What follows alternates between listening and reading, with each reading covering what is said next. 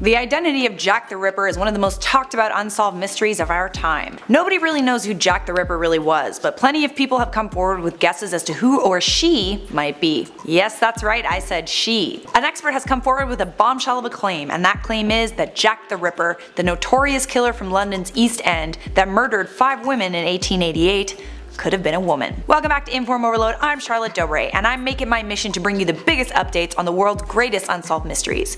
If that sounds like something you're into, smash the subscribe button. You should also follow the IO team on social media, our links are posted down below. Back in 1888, a murderer terrorized London's East End. The murderer cut up and mutilated prostitutes and caused mass hysteria in England. The media called this murderer Jack the Ripper. Scotland Yard was never able to figure out who the Ripper was, and all of their suspects were men. It is clear that whoever the Ripper was, they must have had some medical knowledge and a strong sense of how the human body worked, just based on how they chose to murder their victims. While the murders were happening, the Ripper, or someone pretending to be the Ripper, sent Scotland Yard several letters, as if to like taunt them a little bit. The letters were signed Jack the Ripper, but rather than Jack, it might have actually been a Jill. An Australian scientist, Ian Findlay, a professor of molecular and forensic diagnostics, examined swabs from the stamps and seals from some of the letters Jack the Ripper was believed to have sent the police. He used the samples to construct a DNA profile of whoever licked the envelope. He apparently developed a profiling technique that could extract DNA from a single cell, and even a strand of hair that was up to 160 years old. For some perspective, most DNA sampling requires at least 200 cells.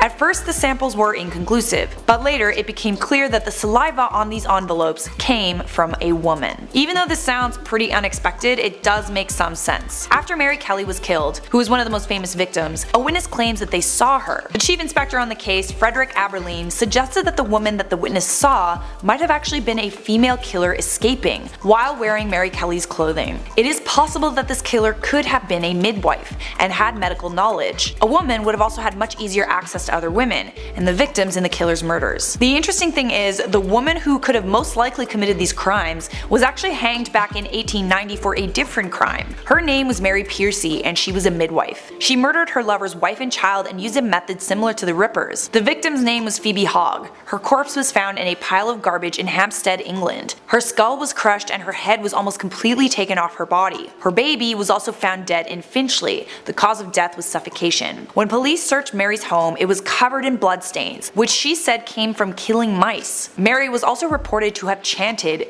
killing mice, killing mice over and over in the presence of police, which could support the idea that she was likely mentally unstable. The lead investigator on the case is not the only person who thought that the Ripper could have been a woman. Sir Arthur Conan Doyle, the creator of Sherlock Holmes, also believed that the Ripper could have been a woman. He said that if the killer was a midwife, she could go around London with blood splattered clothes and no one would think anything of it. That being said, all evidence against Pearcey is circumstantial, and there are no eyewitnesses that link her to the Ripper's crimes. What do you think? Could the Ripper have been a woman? Let me know. For now, it's that time again, time to respond to some of your comments. Greymany Gaming said, I just came here for the comments. I should think you would have come here for the very interesting information, but I have to say the fans in the IO comment section are probably the funniest I've seen on YouTube. You guys make me laugh on a daily basis and I love it. Jay Say said, you should do more rants. Hmm, the Potato Queen shall consider this request. Eyeless Jada said, Charlotte do a German accent. Last time I did the German accent, someone got offended. They like brought their grandma and the grandma was like, oh I'm so offended. And then they wrote a comment saying their grandma was offended and I haven't done it since. They were party pooping, pooping all over my jokes. Yareli Villegas said, the Potato Queen is the smartest news reporter. I am smarter than I look but I can't do videos about math. P-Man Pass said, potato is an insult for bad computers.